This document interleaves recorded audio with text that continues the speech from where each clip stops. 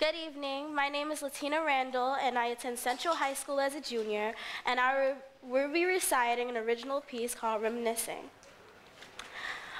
My love is like a flower. I love him and then I love him not. I love her, then I love her not. I use them and then abuse them. I tell them I love them, but I don't need them. I take advantage. Love for me is unforgivable. It leaves me alone every night, leaves me thinking, wishing, wishing upon a star.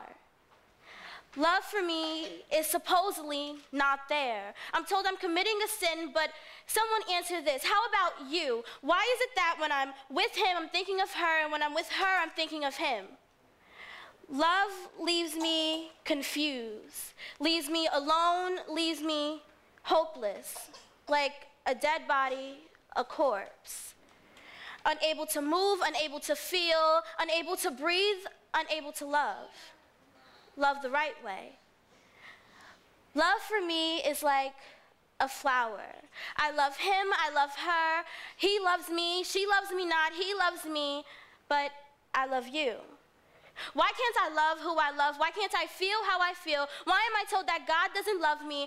Why can't I be free? Free from your tradition or why can't I adopt? Adopt why can't you adopt adopt your way my way of life into yours? So it's not about who we love or whom we love or what we love. It's about how we as a community come together as one and unite as one. My love is like a flower, one slowly wilting, one slowly losing its petals until there is no more. Thank you.